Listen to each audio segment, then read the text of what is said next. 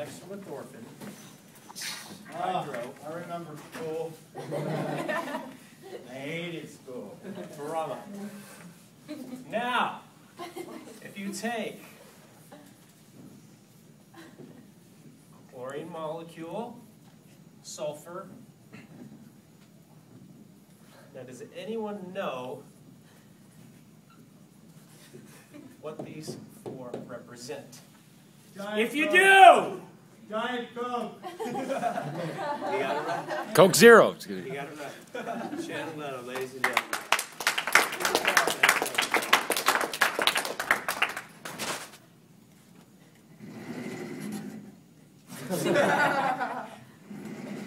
Next up,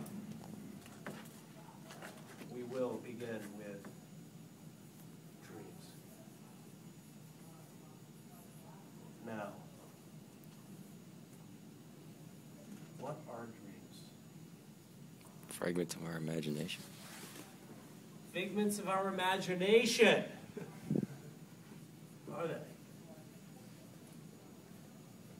What else are dreams? Beliefs. Beliefs. Beliefs. Anyone else? Fantasies? Desires. Someone said fantasies. But you know what I would suggest? They are also reality. You know what I'm saying? It's interesting because sometimes dreams, as much as they seem like they are our imagination, our fantasies, start like a tiny little seed here and become, look at this awesome tree. You know what I mean? At one point, um, things are just ideas, you know? Which is almost like a, a waking dream, you know, an idea. But I always think ideas are worthless. Ideas are like trash, you know? Everybody's got a great idea, right? But I think unless you do something about an idea, they'll never become reality. And the same can of dreams. I never thought I'd be standing here in front of you. I never thought I would ever be the guy on stage, you know? I never thought that. I did a lot of crazy shit when I was young. I'm sure none of you have.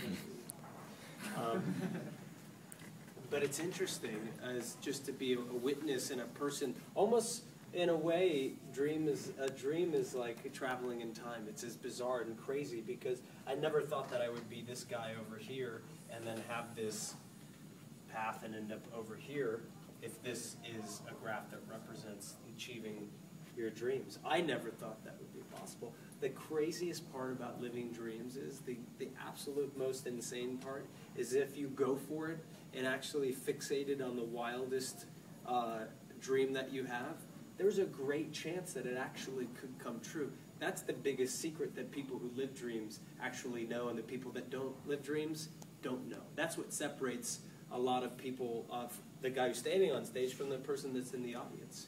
But really, when you look at it, who's allowing me to live my dreams? All of you guys at the show. Strange, you know?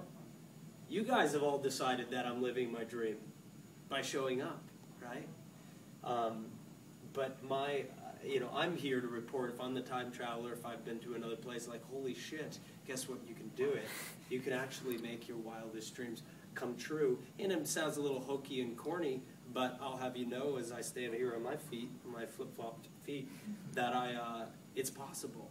It's the weirdest thing. I never thought in a million years when I was a kid, um, you know, indecisive and, and uh, insecure and self conscious about things and figuring it all out, which I still am, that I would be able to do one of the most important things to get here, which was, you know, basically this equals mostly hard work. That's it. That's really the biggest thing. If there's there's a lot there's some luck, there's some talent, maybe. But from what I've seen, I've met some of the most successful people in the world in many different fields. And most of the really successful people are the people that do the hard work. Sometimes you meet these people that just fall over and they get lucky. I've never been so interested in them. I'm interested in people who really have something to offer. Uh, but it's incredible to see that if you work hard enough, you can make dreams a reality. And your beliefs and your desires, your fantasies, your imagination, all of that stuff is attainable, you know? It's pretty wild.